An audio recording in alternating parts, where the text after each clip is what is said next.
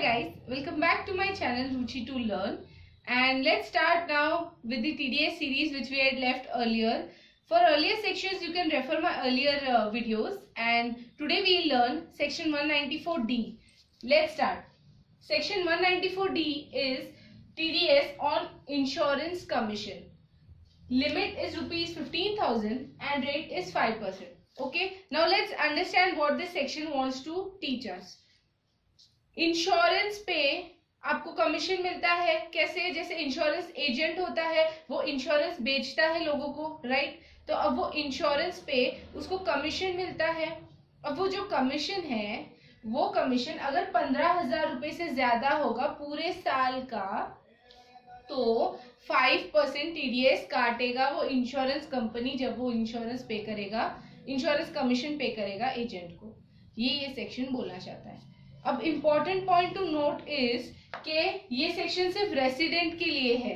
मतलब अगर आप एक इंश्योरेंस कंपनी हो और आपने एक एजेंट को कमीशन दिया है तो तभी ही उसका टीडीएस काटना है जब सामने वाला रेसिडेंट है। अगर सामने वाला नॉन रेसिडेंट है तो इस सेक्शन के अंडर टीडीएस नहीं आएगा। मैं ये नहीं बोल रही हूँ कि टीडीएस नहीं आएगा। सेक्शन 194 डी में सिर्फ़ और सिर्फ़ रेसिडेंट का टीडीएस कटता है। और सेक्शन 195 जो आएगा, उसमें आपको नॉन रेसिडेंट का काटना है। ठीक है? अभी हम 194 डी रीड कर रहे हैं। ओके? इसमें कुछ ज़्यादा कॉम्प्लिकेशंस है नहीं। एक पॉइंट जो आपको बताया गया है कि इंश्योरेंस कमीशन को अगर कोई भी नाम दे दे, जैसे कि रेम्यूनरेशन इंश्योरेंस कंपनी एक एजेंट को रेम्यूनरेशन पे कर रही है तो भी वो इंश्योरेंस कमीशन ही माना जाएगा। उसका नाम चेंज करके आपको उसका टीडीएस एस्केप करने नहीं मिलेगा। ऐसा इस सेक्शन में बताया गया है। ठीक है? Let start with next section section 194 D A ये बहुत इंपॉर्टेंट सेक्शन है बिकॉज़ इसमें अमेंडमेंट्स आए हैं। हाँ and one more point to note इसके अर्लियर सेक्शन जो हमने पढ़ा, उसमें भी अमेंडमेंट्स आए हैं लिमिट और रेट में। तो इम्पोर्टेंट है प्लीज़ ध्यान रखना। Next 194 D A is for L I C withdrawals अब एल आई सी विड्रॉल्स क्या है? तो आपको ये पॉइंट समझना है कि पहले ना एलआईसी के विड्रॉल्स पे एलआईसी मतलब लाइफ इंश्योरेंस के आपकी जो रिसीट्स है विड्रॉल्स है आपके, उस पर पहले टीडीएस नहीं लगता था। अब क्यों नहीं लगता था? क्योंकि जो सेक्शन टेन है, जो एग्जाम्शन बताता है, उस सेक्शन में एलआईसी को एग्जाम्प्ट किया गया है। पर देर आर सम कंडीशंस अगर वो कंडीशंस फुलफिल होंगे तो ही वो एग्जामेशन अप्लाई होगा, वरना वो टैक्सेबल होगा। तो पहले क्या होता था कि इस चीज़ पे टीडीएस नहीं लगता था, क्योंकि मेजरली जो LIC के विड्रॉल्स होते थे, वो कंडीशंस फुलफिल कर लेते थे और उनको टीडीएस लाइबल नहीं होता था, उनको टैक्स लाइबल नहीं होता था। पर फिर क्या हुआ कि बिकॉज़ टीडीएस नहीं था पहले तो आइडेंटिफाई ही नहीं कर पाते थे जो इनकम टैक्स ऑफिसर्स है, जब असेसमेंट करते थे वो आइडेंटिफाई नहीं कर पाते थे कि कौन सा टैक्सेबल वाला है और कौन सा एग्जाम्प्ट वाला है। तो वो सारे ही एल आई सी विड्रॉल्स को एग्जाम्प्ट कर देते थे, बराबर? पर ये जो टैक्स का जो पर्पस था इनकम टैक्स का जो पर्पस था, वो फुलफिल नहीं हो रहा था उस वजह से। इसीलिए सेक्शन 194 डी ए लाया गया है। तो अब जो L I C withdrawals taxable है ना इनकम टैक्स के अंडर उन एल आई सी विड्रॉल्स पे वन परसेंट टीडीएस कटेगा अगर वो एक लाख रुपए से ज़्यादा होगा। ठीक है? ये आपको ये सेक्शन बता रहा है। अब मैं आपको इस सेक्शन के अलावा एक चीज़ बताना चाहती हूँ कि कौन से L I C receive taxable है और कौन से नॉट टैक्सेबल है। ये आपको सेक्शन टेन जो है, उसमें बताया गया है। तो अगर वो कंडीशंस फुलफिल होती है तो फिर टैक्सेबल अदरवाइज़ नॉट टैक्सेबल क्या है कंडीशंस अगर एनुअल प्रोसीड या annual premium is more than और equal to twenty percent of sum assured तो टैक्स लगेगा। या फिर more than equal to ten percent of sum assured तो टैक्स लगेगा। अब क्या है इसका नेक्स्ट कंडीशन पॉलिसी अगर one four two thousand twelve के पहले आपने कोई पॉलिसी ली है और उसका जो एनुअल प्रीमियम आप पे करते हो ना वो एनुअल प्रीमियम जो एक्चुअली आपको अश्योर किया गया है सम जितना आपको गारंटी दिया है कि भाई इतना आपको इंश्योरेंस पे मिलेगा। जैसे मैंने एक करोड़ का एलआईसी का लिया है मैंने इंश्योरेंस ठीक है? मतलब अगर मैं मर गई तो मेरे जो डिपेंडेंट्स है या जिसके नाम पे मैंने किया हुआ है, उनको वो वो पैसे मिल जाएँगे। तो दैट इज़ सम अश्योर्ड अब इस सम अश्योर्ड के लिए मैं एवरी ईयर समझो मैं फिफ्टी थाउज़ेंड का प्रीमियम पे करती हूँ, ठीक है? तो fifty thousand is my annual premium and one crore is my sum assured ठीक है? तो if annual premium is more than और equal to twenty percent of sum assured या फिर more than equal to ten percent of sum assured तो फिर ही taxable होगा। अगर वो लेस होगा तो फिर टैक्सेबल नहीं होगा।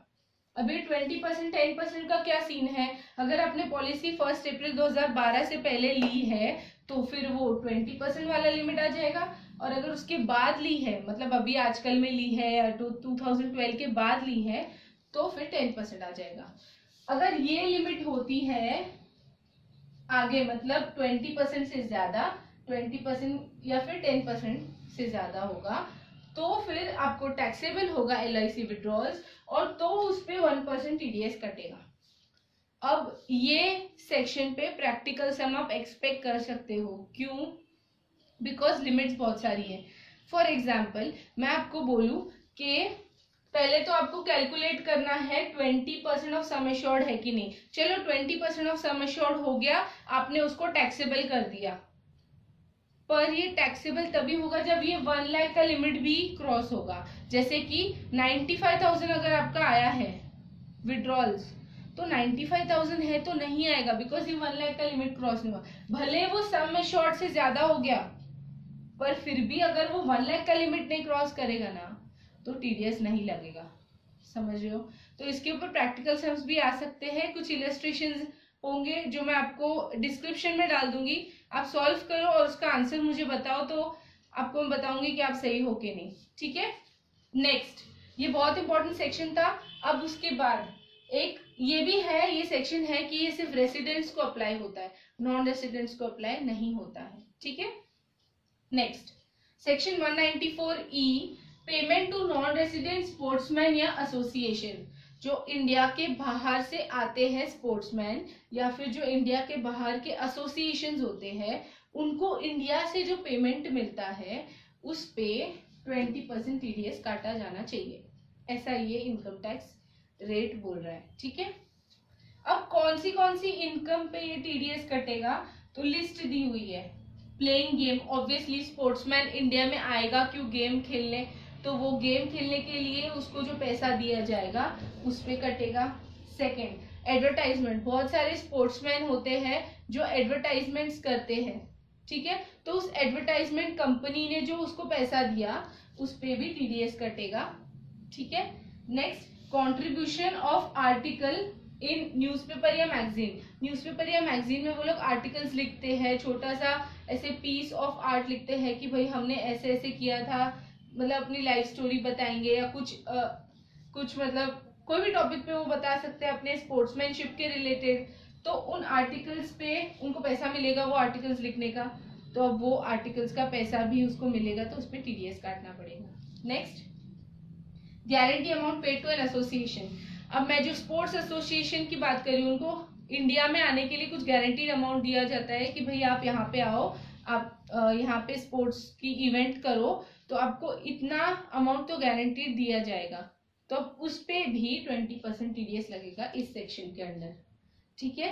And last is income received by non resident entertainer for performance in India जैसे आउटसाइड इंडिया से कोई परफॉर्मर एंटरटेनर आया और यहाँ पे परफॉर्मेंस दिया तो उसका भी ट्वेंटी परसेंट टीडीएस कटेगा। ठीक है? ये बहुत ही इंपॉर्टेंट सेक्शन है।